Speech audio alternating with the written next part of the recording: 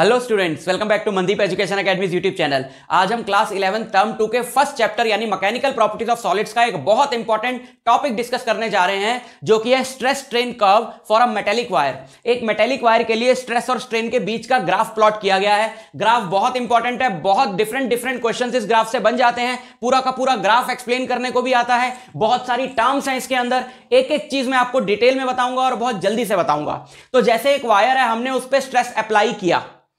अगर स्ट्रेन बहुत कम प्रोड्यूस हुआ है, यानी कि स्ट्रेन है लेस देन वन परसेंट बहुत कम स्ट्रेन प्रोड्यूस हुआ है तो for that starting region Hooke's law obey होता है और स्ट्रेस और स्ट्रेन जो है वो डायरेक्टली प्रोपोर्शनल होते हैं और stress strain graph straight line होता है। ये वाला रीजन है ओए जिसमें स्ट्रेस स्ट्रेन ग्राफ जो है वो स्ट्रेट लाइन है। इस ओए रीजन को बोलते हैं प्रोपोर्शनल रीजन और इस ए को बोलते हैं प्रोपोर्शनल लिमिट क्योंकि इस ए के बाद ग्राफ जो है, वो अपनी लीनियर शेप खो देता है और कर्व हो जाता है। यहाँ तक ग्राफ रहेगा आपका लीनियर ए तक ग्राफ रहेगा लीनियर जो ये कहता है, अगर ये स्ट्रेट लाइन है तो ये कहता है कि स्ट्रेस और स्ट्रेन डायरेक्टली प्रोपोर्शनल है। जैसे जैसे आप स्ट्रेस अप्लाई करते जाते हो, उसी मैनर में, उसी रेशियो में स्ट्रेन बढ़ता जाता है। बट एक पर्टिकुलर स्ट्रेस तक, यानी यहाँ तक, इस पॉइंट ए तक। अब beyond point A this point A is called proportional limit जो पहला इंपॉर्टेंट पॉइंट है टर्म है इस कर्व के अंदर। प्रोपोर्शनल लिमिट मतलब वो पॉइंट जहाँ तक स्ट्रेस और स्ट्रेन प्रोपोर्शनल है। ठीक है? बियॉन्ड प्रोपोर्शनल लिमिट चलते हैं। अगर आप प्रोपोर्शनल लिमिट के आगे जाओ मतलब स्ट्रेस और बढ़ाओ, हम धीरे धीरे अब स्ट्रेस स्ट्रेन कब बना रहे तो धीरे धीरे स्ट्रेस बढ़ाते जा रहे हैं और देख रहे हैं स्ट्रेन के साथ क्या हो रहा है तो हमने ग्राफ प्लॉट कर दिया।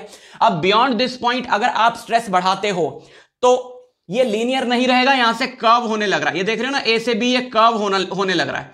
तो बी एक खास पॉइंट है बी को बोलते हैं yield point yield point yield point का क्या मतलब है? यील्ड पॉइंट का यह मतलब है कि बी पॉइंट तक लाकर भी अगर आप स्ट्रेस पूरी तरह से हटा दो तो वायर अपनी शेप रीगेन कर लेती है। ए पॉइंट तक भी ऐसा ही होगा। ए पॉइंट तक लाकर अगर आप स्ट्रेस पूरी तरह रिमूव कर देते हो तो वायर अपनी शेप रीगेन कर लेगी। लेकिन ए तक स्ट्रेट लाइन है और बी तक स्ट्रेट लाइन नहीं है, लेकिन बी आखिरी ऐसा पॉइंट है।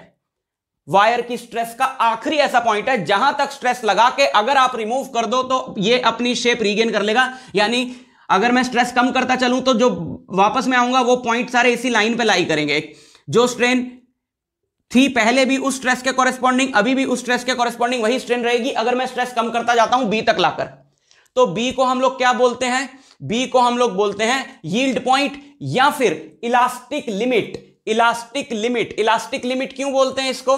बिकॉज़ यहाँ तक वायर इलास्टिक है। इलास्टिक रीजन वो होता है जहाँ स्ट्रेस और स्ट्रेन जो है वो प्रोपोर्शनल होते हैं। इलास्टिक लिमिट मतलब स्ट्रेस और स्ट्रेन प्रोपोर्शनल नहीं स्ट्रेस और स्ट्रेन तो ए तक प्रोपोर्शनल है। इलास्टिक लिमिट मतलब जहाँ तक इलास्टिक बिहेवियर शो कर रही है वायर मतलब जहाँ तक लाते लाते स्ट्रेस हटाने पे वापस बॉडी अपनी शेप रीगेन कर लेती है। है ना? पूरी तरह से रीगेन कर लेगी वायर वहाँ तक बोलते हैं इलास्टिक लिमिट इलास्टिक लिमिट के बियॉन्ड शुरू शुरू शुरू नहीं, शुरू हो जाता है प्लास्टिक रीजन बियॉन्ड पॉइंट भी इसका प्लास्टिक रीजन शुरू हो गया। मतलब बियॉन्ड पॉइंट भी ऐसा होगा कि अगर आप स्ट्रेस हटाना शुरू कर दोगे और स्ट्रेस बिल्कुल ज़ीरो कर दोगे तो वायर अपनी शेप रीगेन कभी नहीं करेगी। फॉर एग्ज़ाम्पल यहाँ पर एक पॉइंट है C which is beyond elastic limit यहाँ पर मैंने लाकर स्ट्रेस हटाना शुरू किया।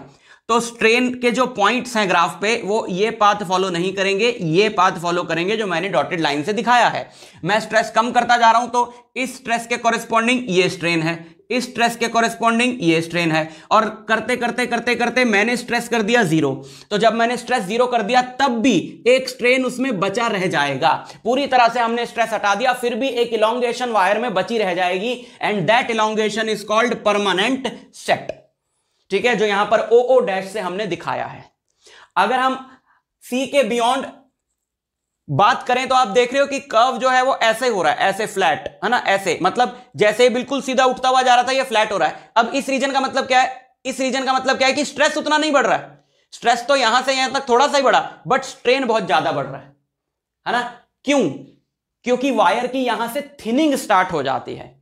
थिनिंग स्टार्ट होने का क्या मतलब है? कि अगर आप स्ट्रेस और नहीं भी बढ़ाओगे तो भी वायर की जितनी ऑलरेडी स्ट्रेस लगा चुके हो प्लस वायर का खुद का वेट उसकी वजह से उसकी लेंथ बढ़ती जाएगी। आप इमेजिन करो, बहुत ज़्यादा आपने वेट लगा दिया थिनिंग स्टार्ट होगी वायर की तो खिंचती जाएगी, है ना?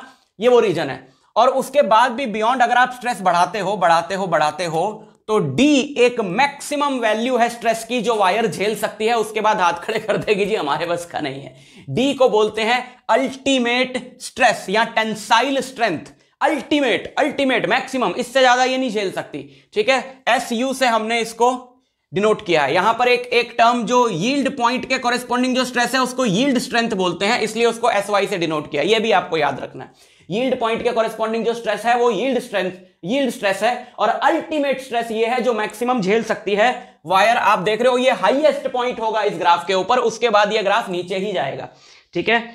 अब आप कहोगे हाईएस्ट है तो यहाँ पर टूटी क्यों नहीं है? अभी बात करते हैं। तो ये जो अल्टीमेट स्ट्रेस है, स्ट्रेस क्या होता है? Force upon area. So this is the maximum load maximum load divided by original area of cross section original area of cross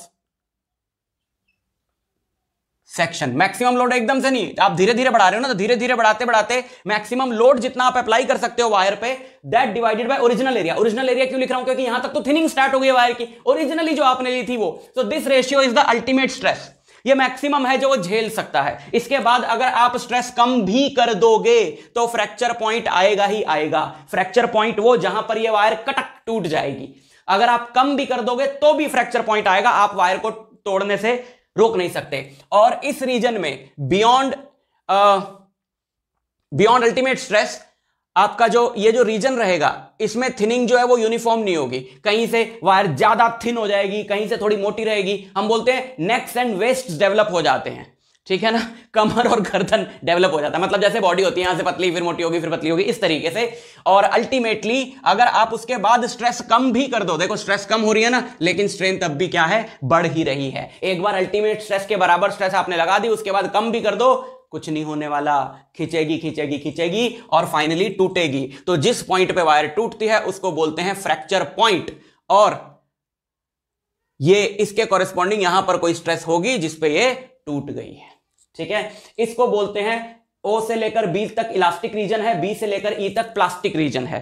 क्योंकि यहाँ तक लगाने पर स्ट्रेस वायर अपना शेप रिगेन नहीं करती है और बी से लेकर ई तक ये जो अपने आप ये जो बढ़ रहा है, इसको प्लास्टिक फ्लो बोलते हैं। अपने आप लेंथ बढ़ रही है और स्ट्रेस नहीं भी लगाओगे तो अपने आप इसकी इसकी जो स्ट्रेन है वो बढ़ रही है ना? लेंथ बढ़ रही है। तो इसको क्या बोलते हैं? प्लास्टिक फ्लो तो ये सारी टर्म्स आपने इसमें याद रखनी है। आई होप आपको समझ में आ गया होगा। डिटेल में ये कर्व पूरा का पूरा कर्व बनाने को भी आ जाता है। पाँच नंबर में काफ़ी टर्म्स हैं इसमें तो पाँच टर्म्स दे देते हैं, बोलते हैं, इसको एक्सप्लेन करो। या छोटे छोटे क्वेश्चन भी आ सकते हैं, एक नंबर दो नंबर के।